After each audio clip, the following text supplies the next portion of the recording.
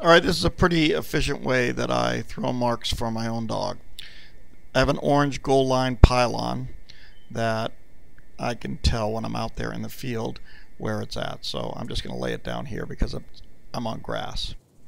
Now normally I do this and I walk a big deep circle. But because I have a tripod here, I'm going to try to stay within the camera thing. So I'm, I'm not going to walk a circle, but you'll get the idea. He's got, uh, I only have to carry two bumpers in the pylon. So he's holding a bumper in his mouth. Now this first one, I have to just clean him up. I just started, this is uh, my, was my wife's dog. So he dropped the bumper at first. I put him back and now I'm having him mark. But after that, then he's going to come out, do the bumper exchange, and return back to the pylon. I only have to walk a few feet to pick up that bumper. Normally I would also just shoot the Thunder 100 and throw, but I don't have it with me. I could get in 20 good marks in a short period of time in a whole big circular motion. I'm going to move back a little further. He also gets to square up. His sit whistle gets better. Yes, I give him a mark command here. And he's also got a bumper in his mouth the whole time, so he's not dropping anything except to pick that one up. And I'm going to run this deeper and deeper. And again, I would have him squarely turning while I'm walking this circle on that pylon, but uh, I'd run out of camera camera space, so I can't really tell where the camera's pointing, but I did a pretty good job this time of staying in the range. So now I'm moving it back a little further.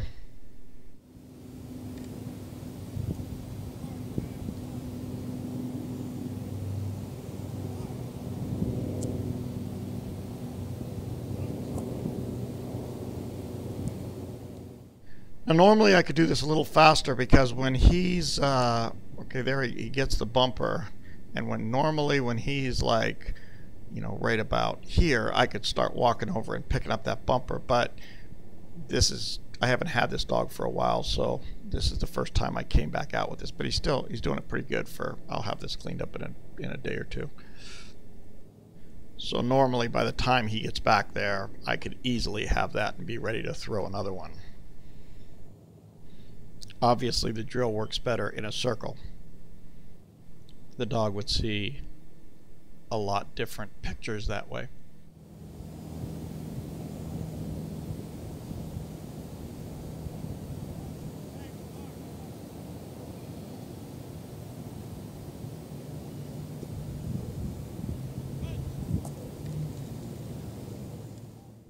And I'm just getting deeper and deeper away from the dog.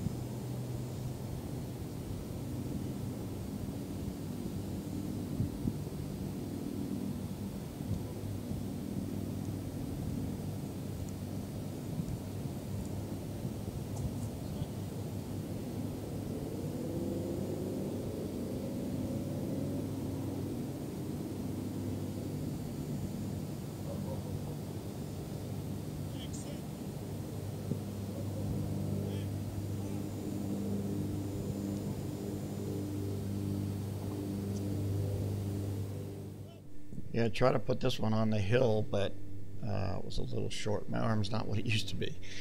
So it's it landed right at the base of that hill.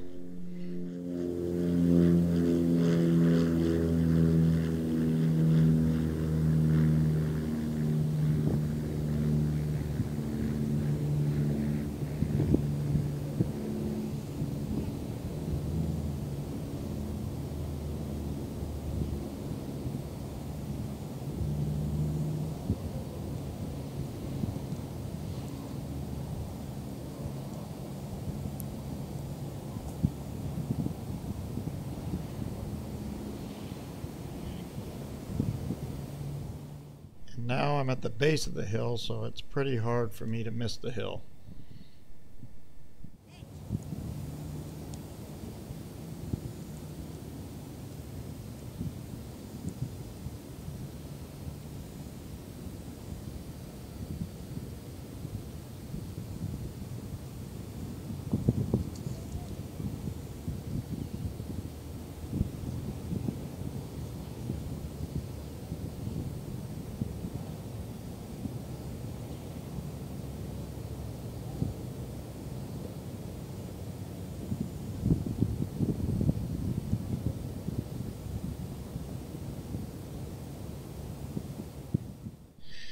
So now I got to just walk up the hill a few feet and uh, get the last bumper and walk back. I'm going to cut this for the first time just to take out the minute or so it takes me to walk back.